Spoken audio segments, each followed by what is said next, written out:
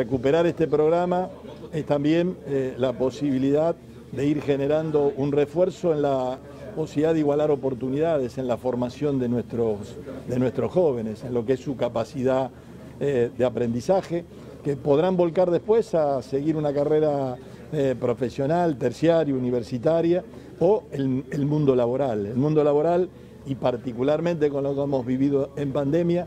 todos los dispositivos digitales, todos los dispositivos a través de las redes o las plataformas van a ser eh, moneda corriente y constante de quien incorpore nuevo personal a las empresas.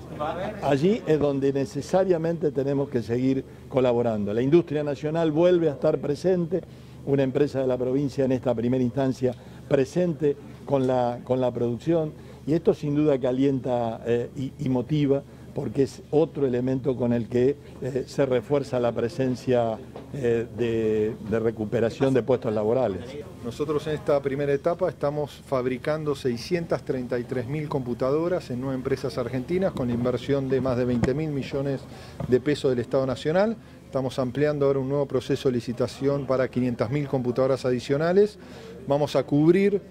todos los primeros años de la escuela secundaria de todo el territorio argentino, además del el primer ciclo, que es primero y segundo año de todas las escuelas rurales argentinas, y todos los años de las escuelas interculturales bilingües. Y esto es un proceso que por supuesto tenemos que ir robusteciendo año tras año para que todos los chicos, todas las chicas de las escuelas de gestión estatal de nuestro país, a lo largo de todo su trayecto educativo, tengan un dispositivo tecnológico